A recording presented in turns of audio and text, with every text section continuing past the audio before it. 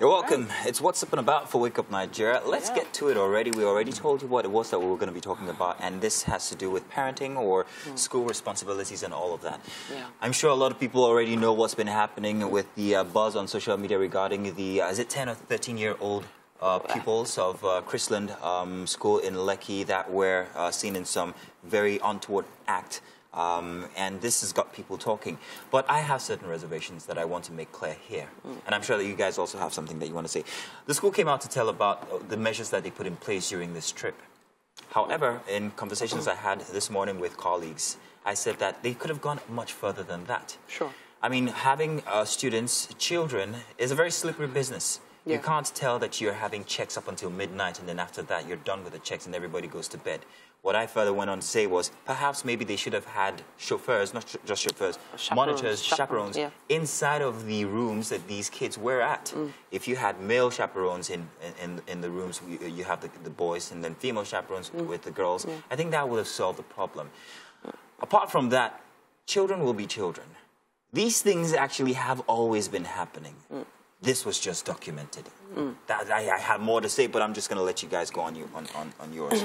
Okay, so um, so there, it does. There's um, it's a touchy area, um, having chaperones be in the rooms with the children because um, the truth is, I don't, I don't see why um, it's not even more worrisome having an adult with young boys in a room. It's not about that. It's just the culture and um, and structure and parenting styles and uh, uh, and um, moral upbringing of everyone involved. Um, a child that is going to be bad is going to be bad, whether there's a chaperone there or not. Right? It's just that it wouldn't have been documented. It probably wouldn't have gone on camera if the chaperone was there. Right? I don't know, Mike, do you, do you agree with that? You get my What do you point? think, Mike? These things what- have been happening, as you said. So But my, it was my, yeah, but yeah, my point is, look, it is. Uh, I'd rather have a chaperone or a teacher or somebody Yeah. there with them in their own.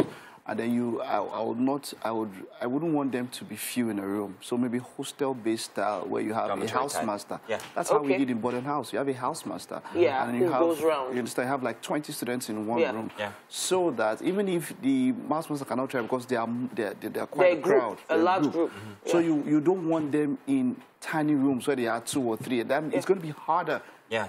to, check monitor. on them, to Yeah. monitor them. You see, but then I want to say something. You see, this that has happened, and uh, it, is, is it a failure of parenting? Mm-hmm. Yes or no? Now, that's the thing. Yes or I- no? I Is don't I, it- think is it I, a I failure do of think that it's, a fail, it's an instance of failed parenting. Yes or no? Why do you think so? Well, first off, the morals of these kids. No, Mm. not the kids. Maybe it might have been just one kid or two kid. All you need is influence from one kid, and everybody is like one bad apple spoils the lot in this case, if you ask me. When Well, it you comes have to a point children. there, yeah. Mm. So it, it, it goes to to to show what this kid or maybe there's, there's more than one of them has been exposed, Exposed to, yeah. now, let's also play on the innocence of this kid. You might have been exposed to it in a in an undue manner where perhaps maybe the kid was molested, hmm. perhaps because from what is being Or told abused. or abused Yeah. exactly from what is being told is that this was an experienced act. Hmm. This was something that perhaps didn't just start at that time, something that has perhaps maybe happened more than once, Hmm. according to what people tell Mm-hmm. regarding the video and uh, how it went on. Hmm. It's very sad, it's touching, but there have been instances of this happening. I've experienced one myself personally from, from when I was growing up. I mean, we all went to secondary schools. We've all seen these things. It's just that back then you didn't have a phone that could document these things and it would go exactly. viral. And if you you just put put it it Exactly. on on Instagram. Yeah. Yeah. So, so as what I said earlier was a child that is going to spoil is going to spoil you. No matter how many chaperones, how they parent the child. eh, The truth is, there are some things that you just cannot. I don't agree. You Titi. can. I don't think you can. I don't think you can stop these things. I'm thinking, all all our talking now is probably going to do is maybe get them to not record it.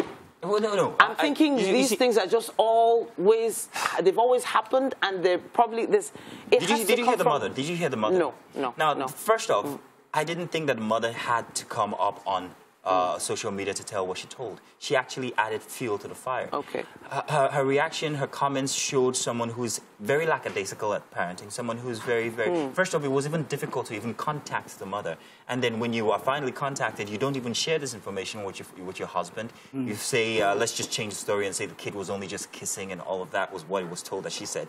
And then Wow. even your mannerisms when you're talking can just show that you're just so lackluster about being a parent. That's what happened. Eh? Wow. It- it- so I, I could already tell that this is something that generated from home, and I, I empathize with the school. Quite mm. frankly, mm. I actually do because there's only so much a school can do if you bring a bad child to school. The mm. child's already bad from home. We can only just mm-hmm. help you, you know, set certain regulations here and there.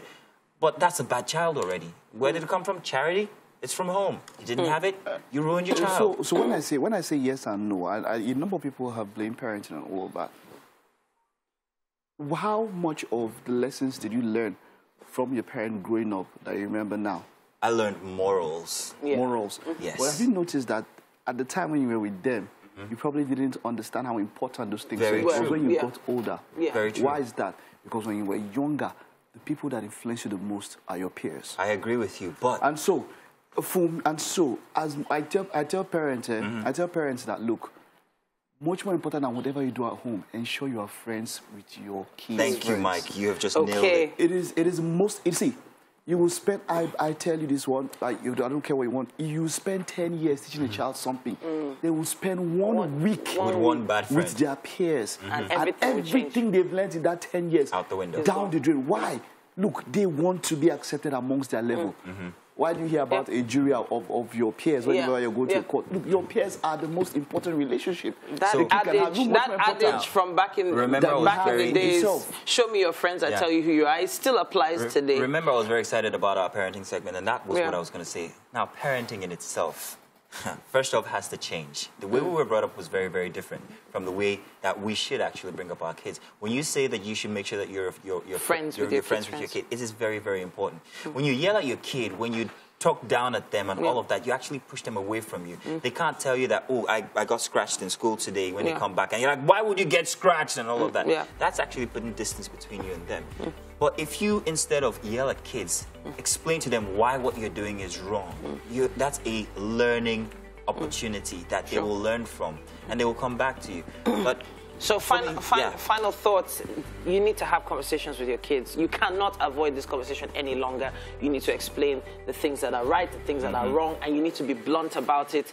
Parents need to come together, have a meeting, and have a plan to have this conversation because you can't hide from it anymore. Our kids are more exposed than we could ever imagine. yeah, true that. And for me, schools get more chaperones, get more security. If, Yeah. if it's in their mind, let it remain in their mind. Yeah. Let's try as much as possible to Yeah. that it's not that they don't they don't come bring it out. You understand? Block it.